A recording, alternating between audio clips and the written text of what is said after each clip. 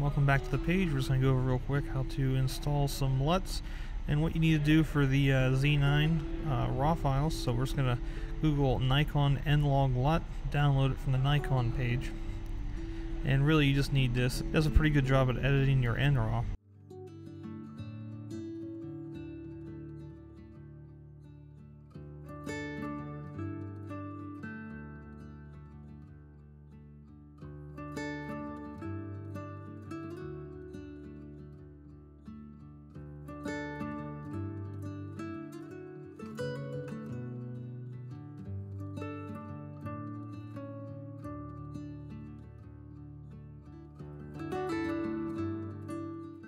Once that's installed, you have to figure out how to put it in DaVinci Resolve.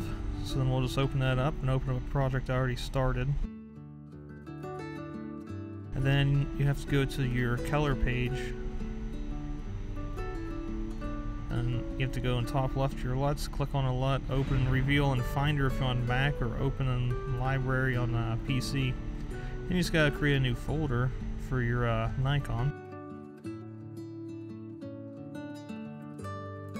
And that download LUT has a LUT for all the Nikons, so we're just gonna drag and drop the Z9 LUT in there. That's the only one we're really gonna need. And now that's in there, you can exit out of Resolve and open it back up. That way it will refresh.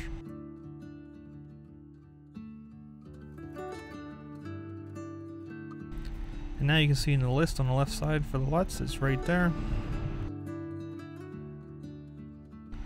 And now we'll find our NRAW NEV files.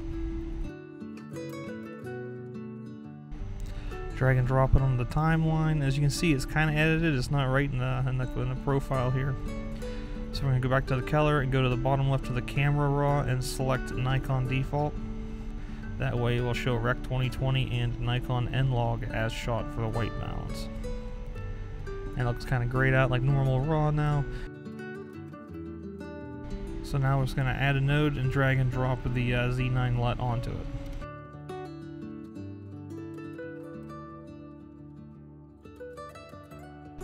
As you can see, did a pretty good job of getting a basic edit on there. And for myself, I just add a little bit of contrast, some temperature, color boost, shadow, and highlight adjustment.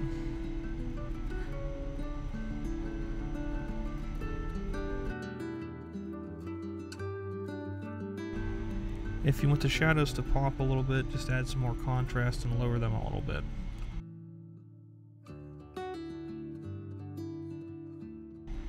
And now we'll see the before and after.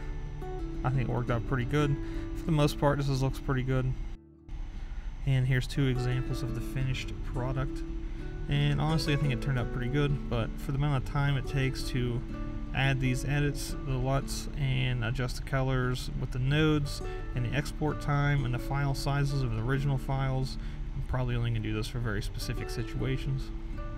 As 265 10-bit right out of the camera looks pretty nice and you can still adjust that pretty nicely in, uh, in post.